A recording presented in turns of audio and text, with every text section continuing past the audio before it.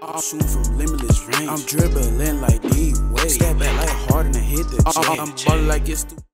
Yo, what's good, YouTube? It's your boy, Lil Mike, and I'm back with another video, man. I know a long time no see, but uh, I'm just dropping a quick video on what my build is and what I currently think is the best point guard build at the moment.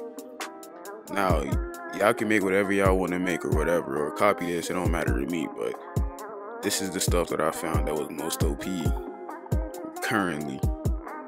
So I'm just gonna fast forward through a couple of stuff, let y'all see. But I ain't got nothing else to say. If y'all want to build, y'all just finish watching the video, speed through, take pictures, do whatever y'all gotta do. But without further ado, it's been your boy, Lil Mike.